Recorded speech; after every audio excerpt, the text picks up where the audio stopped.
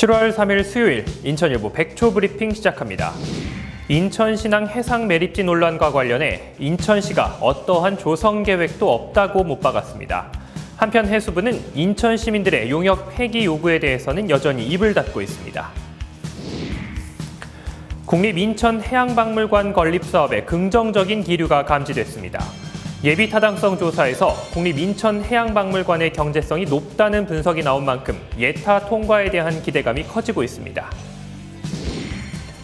붉은 수돗물 사태 이후로 영종 지역 주민들 사이에서 자체 정수장을 갖춰야 한다는 목소리가 높습니다. 지역 특성상 누수나 바닷물 유입의 가능성이 클 것으로 우려하고 있기 때문입니다.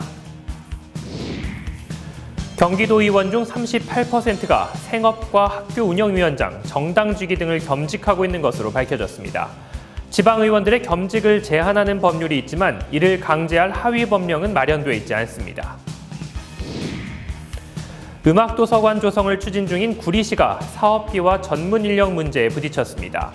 별도의 공간을 마련하는데 적지 않은 사업비가 드는 데다 음악 전문 사서 인력을 충원해야 하는 상황입니다.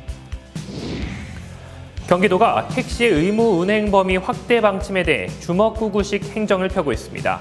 국토부의 매뉴얼과 어긋나는 데다 향후 지자체, 택시업체 간 법적 다툼으로 번질 우려가 다분합니다.